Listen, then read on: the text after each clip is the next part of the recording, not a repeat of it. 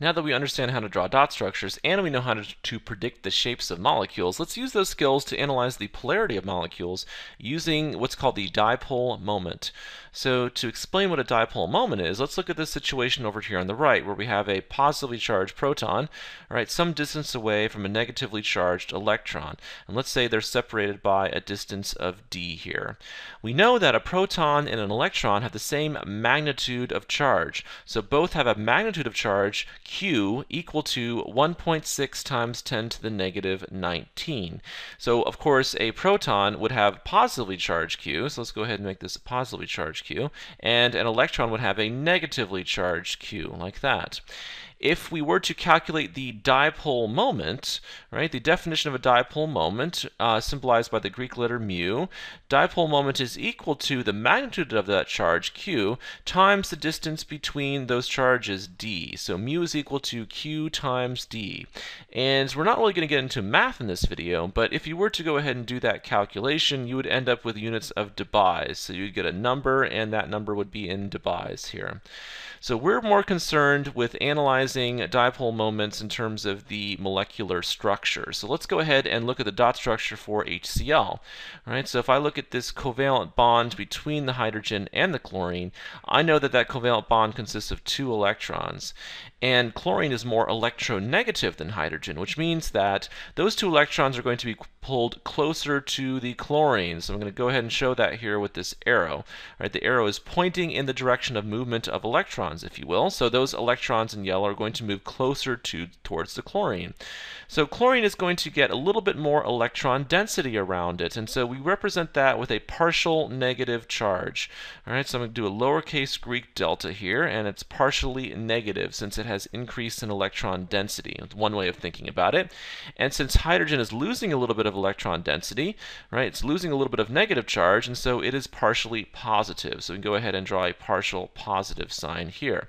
And so we're setting up a situation where we are polarizing the molecule, right? So, so so this part of the molecule over here on the right, right, is increasing in electron density, and so that is our partial negative side. That's one pole.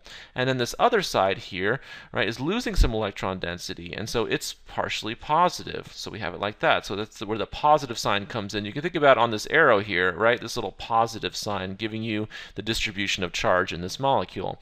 And so you have these two poles, right, a positive pole and a negative pole. And if you think about those two poles as having a center of mass, you could calculate, you could have a distance between them and you could calculate the dipole moment for this molecule.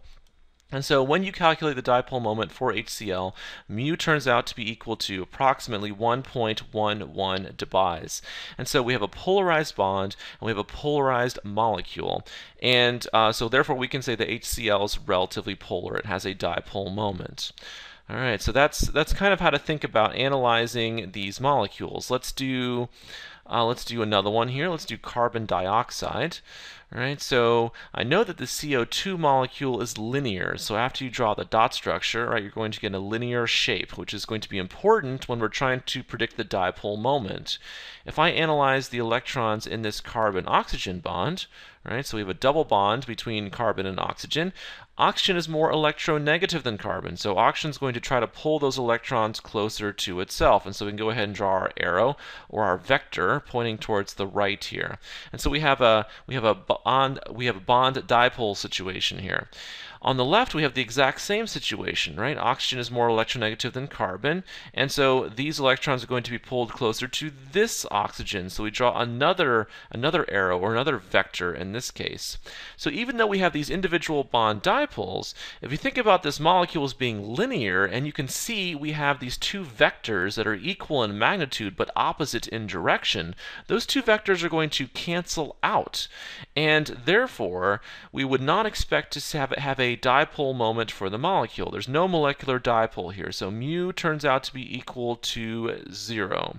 A simplistic way of thinking about this would be like a tug of war, right? You have these really strong atoms, if you will, right? These oxygens, but they're equally strong, and if they're pulling with equal force in opposite directions, it's going to cancel out. So the individual bond dipoles cancel out, and so there's no overall dipole moment for this molecule, and carbon dioxide is considered to be nonpolar.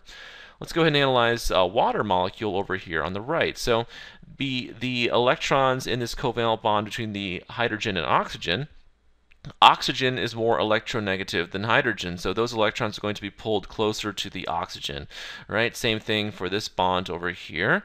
And we also have lone pairs of electrons on our central atom to think about, and that's of course going to increase the electron density going in this direction for that lone pair, and in this direction for that lone pair. And so even though it's it's uh, we know the geometry of the water molecule is bent, and it's hard to represent that on this two-dimensional surface here, if you use a molymod mod set, you will kind of see that your your net dipole moment, right, would be directed upward in this case. And so the the individual bond dipoles are going to add to give you a molecular dipole, in this case pointed up, and so therefore you're going to have a dipole moment associated with your water molecule. So mu turns out to be approximately 1.85, and we can consider water to be a polar molecule. All right, let's do two more examples. So on the left is CCl4 or carbon tetrachloride. And so you can see that we have uh, carbon bonded to chlorine here. And so, since it's a straight line, this means in the plane of the page, if you will. And so we know the geometry is tetrahedral around uh, this carbon. All right, so let's go ahead and analyze uh, that as well. So I have uh, I have a wedge drawn here, which means this chlorine is coming out at you in space, right? And then I have a dash back here, meaning this chlorine back here is going away from you in space. So that's how to think about it.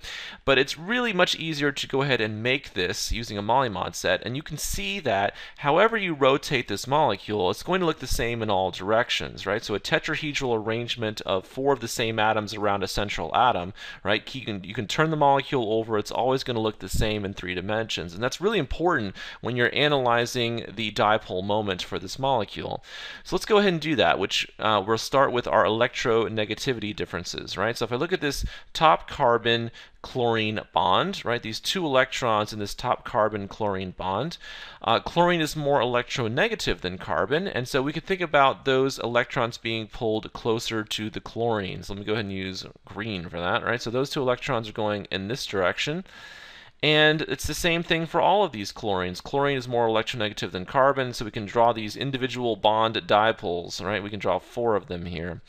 And in this case, we have four dipoles, but they're going to cancel out in three dimensions. So again, this is a tough one to visualize on a two-dimensional surface, but if you have the molecule in front of you, it's a little bit easier to see that if you keep rotating the molecule, right, it looks the same. And so these individual bond dipoles cancel. There's no dipole moment for this molecule, and so mu is equal to zero, and we would expect the carbon tetrachloride molecule to be nonpolar.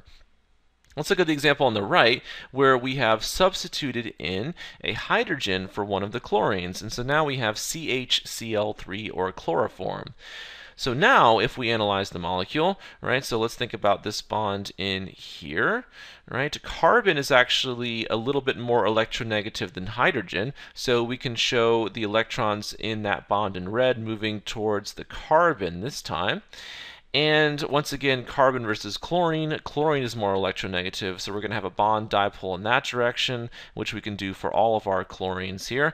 And so hopefully it's a little bit easier to see in this case Right? In this case, the individual bond dipoles are going to combine to give you a net dipole located in the downward direction for this molecule. So I'm, I'm attempting to draw the molecular dipole, right? The dipole for the entire molecule going a little bit down in terms of how I've drawn this molecule. And so since we have a hydrogen here, right, there's no upward pull in this case to balance out the downward pull. And so we would expect this molecule to have a dipole moment. And so mu turns out to be approximately 1.01 for chloroform. So it is certainly more polar than our carbon tetrachloride example.